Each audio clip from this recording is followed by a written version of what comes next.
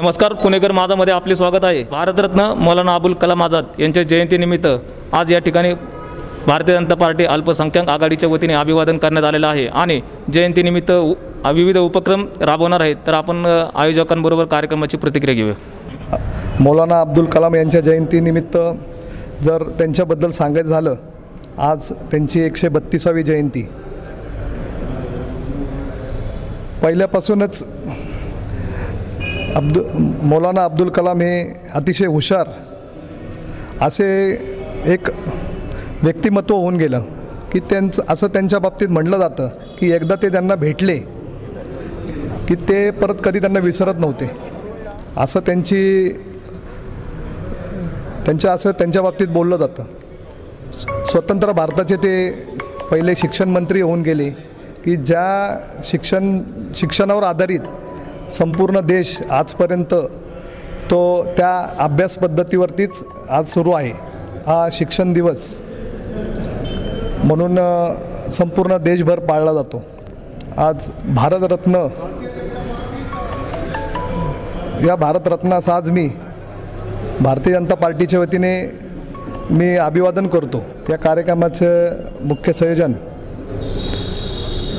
पुणे शहर अध्यक्ष अनवरभाई पठाण यांनी केलेलं आहे. त्यांचे खूप मोलाचे कार्य अबुल कलाम आझाद यांचे.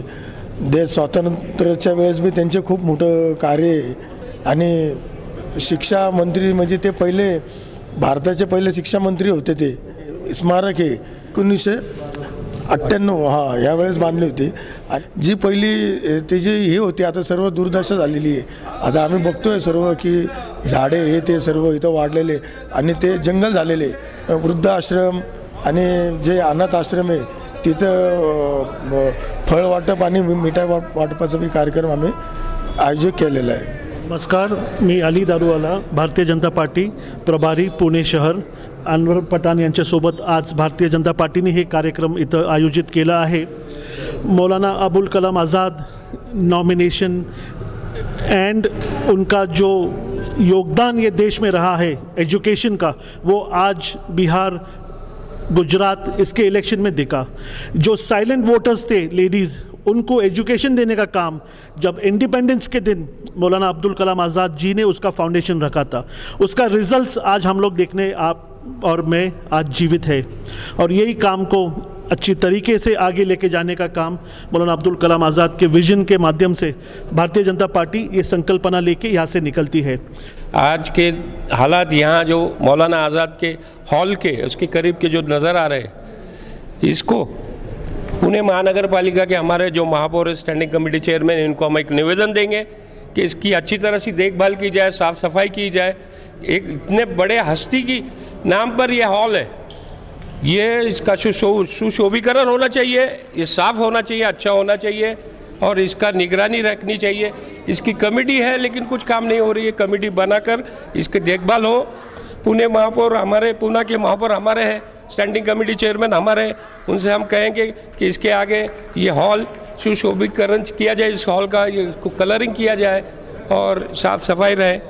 मौलाना आज़ाद के नाम पर यह हॉल चल रहा है। उनके नाम पर जो जो फैसिलिटी मिलती है माइनॉरिटी को उसको यहाँ से उपलब्ध की जाए। आज मौलाना आज़ाद की 132वीं जयंती है और हमें खुशी इस बात की है कि ये जो हॉल की शुरुआत भारतीय जनता पार्टी के तरफ़ से उन्नीस में की गई, उस वक्त हमारे स्टैंडिंग कमेटी चेयरमैन सतीश विचार थे, जिन्होंने पाँच लाख रुपया इसको निधि दिया।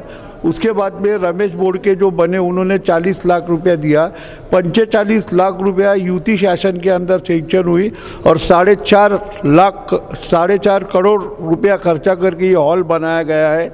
और आज हमें खुशी है कि भारतीय जनता पार्टी के जानिब से इतना बड़ा हॉल आज पूना में महानगर पालिका के जानिब से बनाया गया। और यहाँ पे अब जो काफ़ी जगह है। हम चाहते हैं कि यहाँ पर मौलाना आज़ाद गर्ल्स और बॉयज़ हॉस्टल बनाए जाए, जो मौलाना आज़ाद एजुकेशन फाउंडेशन दिल्ली के जानिब से इसका प्रस्ताव हम देंगे और यहाँ पे हॉस्टल बनाने की भी कोशिश करेंगे। और आज मौलाना आज़ाद की जयंती है। हम ऐसा ज़ाहिर कर देंगे, मौलाना आज़ाद की जयंती के दिन मौलाना आज़ाद की छुट्टी गवर्नमेंट ने डिक्लेयर करना। आज ऐसा निवेदन हम पुणे महानगरपालिका भारत सरकार और महाराष्ट्र शासन को भी आज देने वाले। इस मौलाना आज़ाद जयंती के मौके पे सबको शुभकामना देते भारतरत्न मौलाना अबुल कलाम आझाद यांच्या जयंतीनिमित्त आज भारतीय जनता पार्टीच्या वतीने अभिवादन करण्यात आलेलं आहे आणि भारतीय जनता पार्टीच्या वतीने यांनी विविध मागण्या सरकारकडे करण्यात आलेल्या आहेत. मी Santosh Shinde Punekar Majha news Marathi.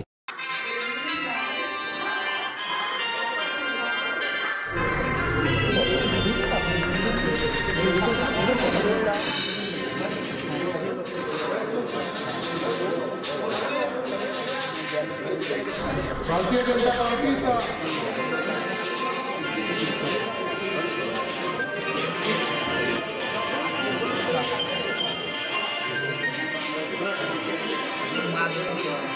Thank